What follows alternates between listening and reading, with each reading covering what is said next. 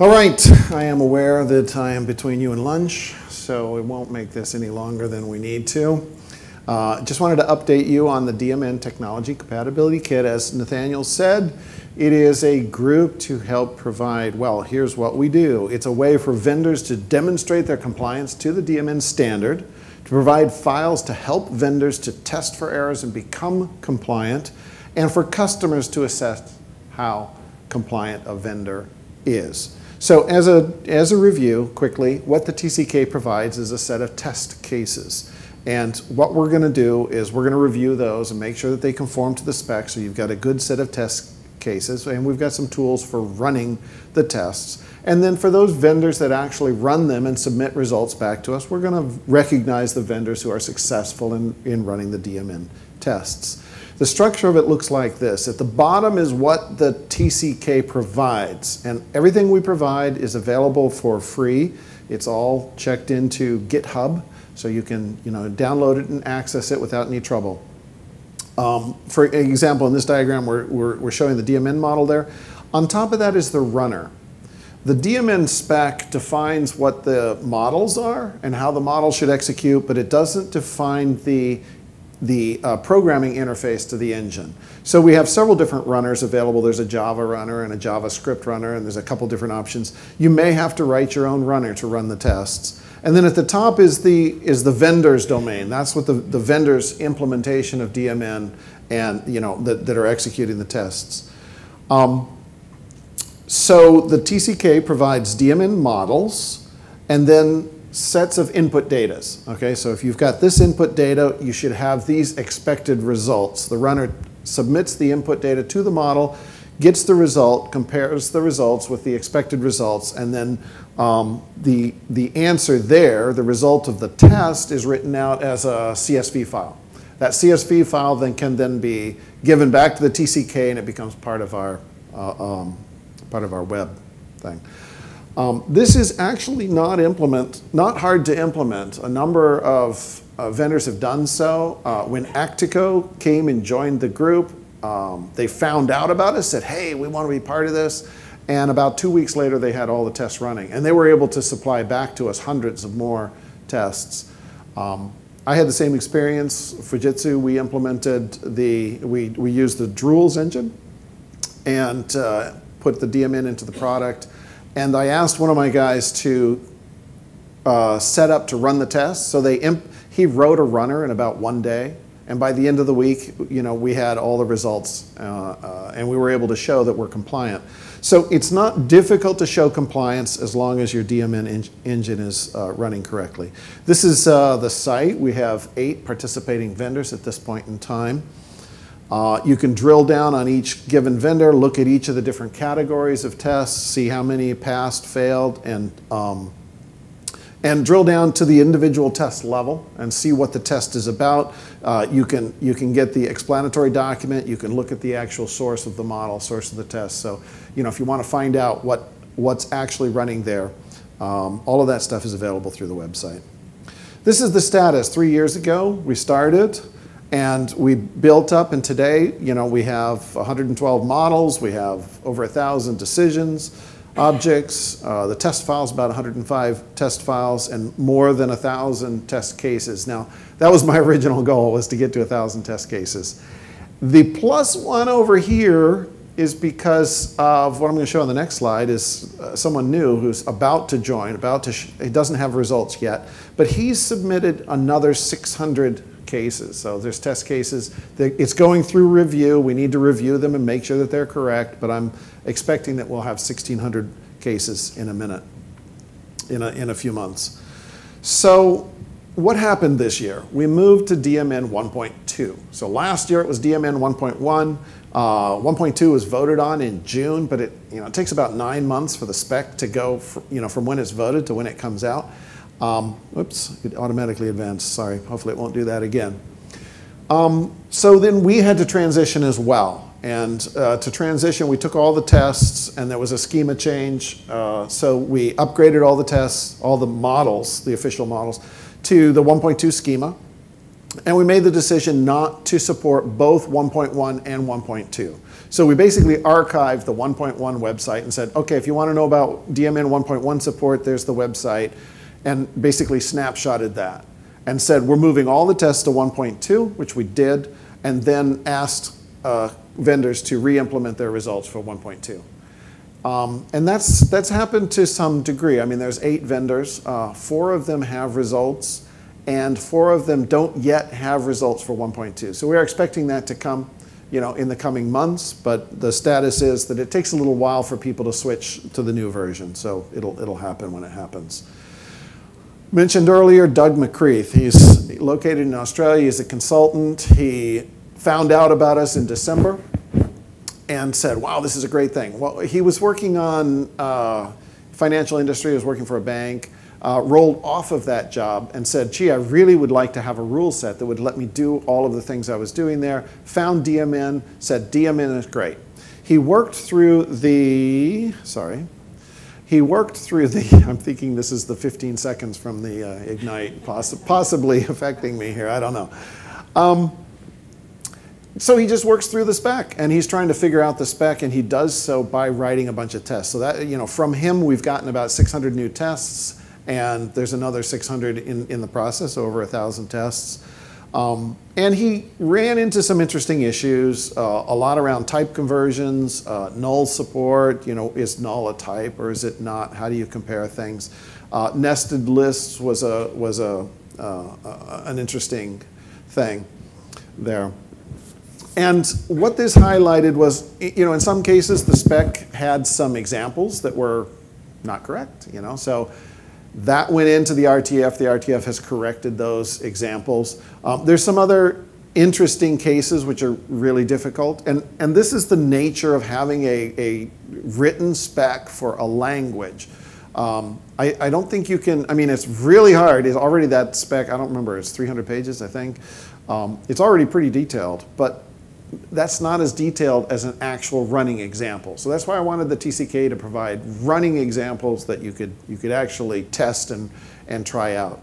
Um, error handling was an issue that came up. Uh, I can talk about that in the next slide. Unicode, they had a uh, expression for, uh, show, for including Unicode values, but um, the spec didn't really define what the four hex digits meant, and which was strange because the Unicode characters, they allow more than four digits of Unicode characters.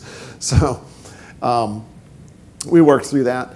Um, this is a snapshot from the current issue site. A lot of the issues are waiting on the RTF. And I'm highlighting that here because there is a bandwidth um, limitation in the RTF. The RTF is solving these on a regular basis. They're working through them, but let's face it, uh, there's only so much they can do. And so I think there's a chance to move forward in parallel here uh, and that the TCK could move ahead and, and make some decisions on um, that, that the RTF is too busy to handle. Okay, they're working on other things. So I think we should move forward on that. However, the, the main implementers have not yet gotten on board to that. So that's fine. Um, you know, it, it, we'll take it wherever we want to take it. Uh, if we can move more quickly, uh, that would be great. But if we want to, you know, if, if we're going to put everything through the RTF bottleneck, that, that's also fine too. So we'll just see what happens. But that's kind of where I want to, to move in the future. We've got a viable test set. It works. It's out there. It, it's been proven to help people do implementation. It, it's proven to show that, uh, that they work. So we'll continue to add more tests, and maybe we can look at error handling a little bit. The spec doesn't really define error handling, and this, was, this is partially a design decision. In, in, in my mind, it's very, very important that if you hit an error condition, that you basically stop everything and report that. Um, that's one philosophical approach to handling errors. Uh, the other approach is uh, and this is the, the choice that DMN, uh, the feel expression language took, is to simply return a null. And, that, and, and so if you have an error in an expression, which is an input to another function or expression, the null is passed into there, and then it handles the null, and that may pass on a null uh, further on. And I do know that some languages work successfully that way, so I'm, you know, I'm willing to say maybe this is a, maybe this is a good way to go. Um, but the spec talks about errors can be reported, but doesn't define exactly when the error should be, must be produced. Um, so it's all pretty much optimal. I mean, we added into the test cases as a way to indicate that this test will cause an error, supposed to cause an error, but we can't actually enforce that an error occurs because the spec doesn't say so. Um, so that's the situation we're in. I think it's an opportunity for the TCK to actually define the cases which should produce errors. Um, so we'll see what happens. Uh, again, this is a way of, of helping the RTF move forward because to, to get around their, band, their bandwidth problem. One thing that has happened is we've seen clearly now the separation of process from decision. That's a good thing. Um, so in, this, is, this is taking from the Fujitsu um, uh, presentations. But uh, you can call the decision directly through the REST API just in the same way that you can call the process. And that's kind of a new thing because we used to think of processes, that decisions were part of process, but now we see them as separate things that are accessible in the UI. So that's a good thing. I think we all know that. Um, of course, you can call the decision from the process, but that's kind of secondary. I'm not seeing a lot. I mean, we still do that, but, but uh, presenting it straight to the user is maybe a more viable thing. Anyway, you have both choices. I believe that standardizing the REST API to this is a possible direction for the TCK. So I'll just, you know, that's one of the things we might do.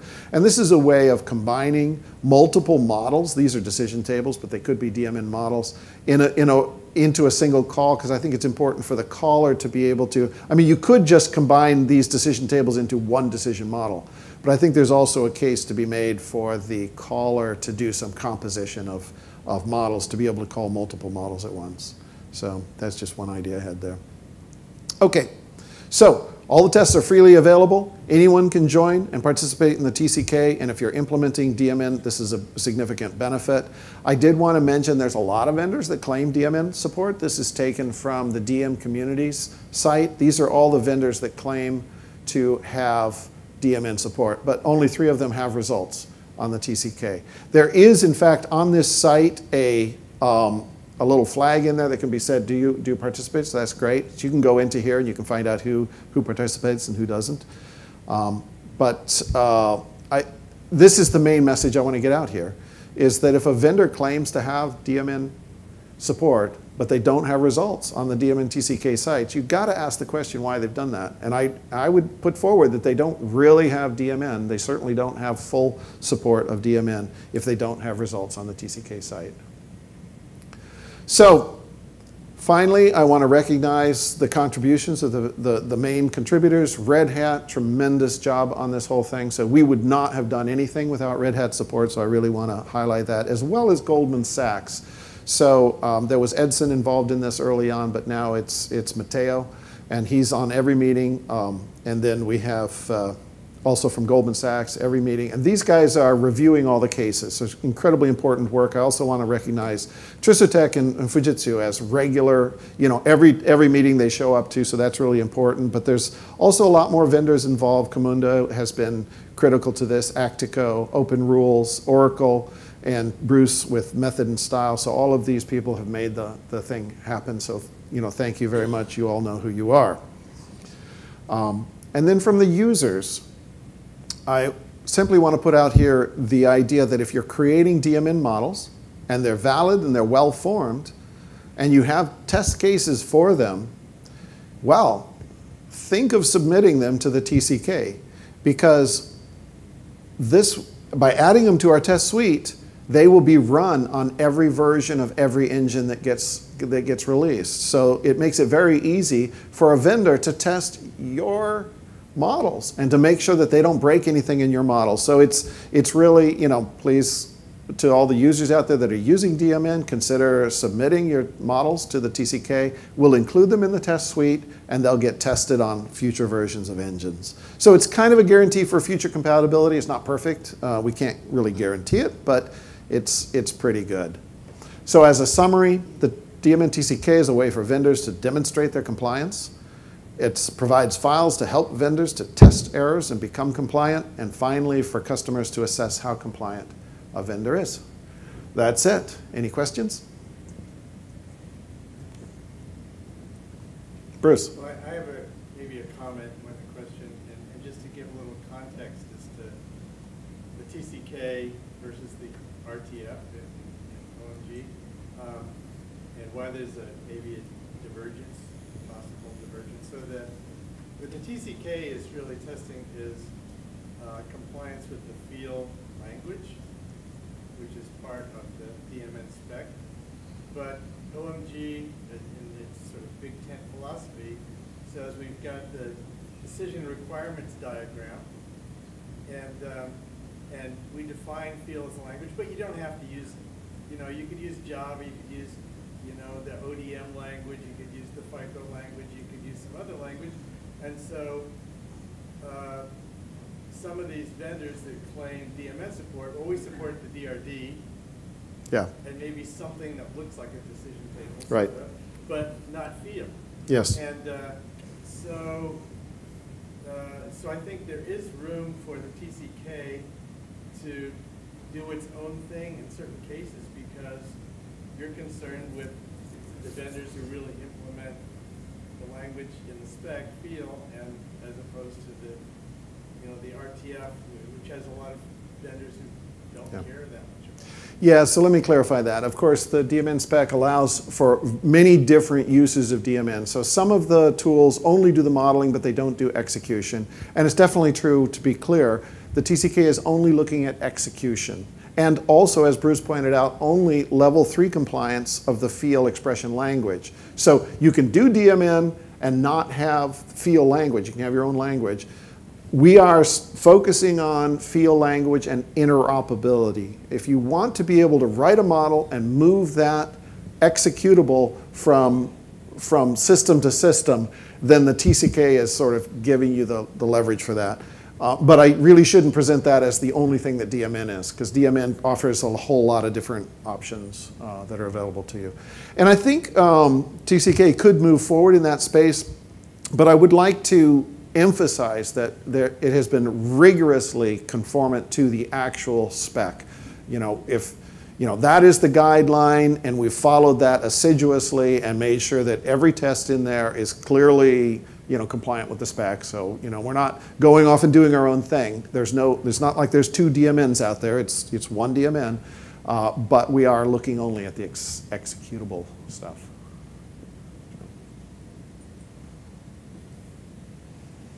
Okay, so if that's it, I'll, we'll call an end to this and we'll all go have some lunch. So thank you very much.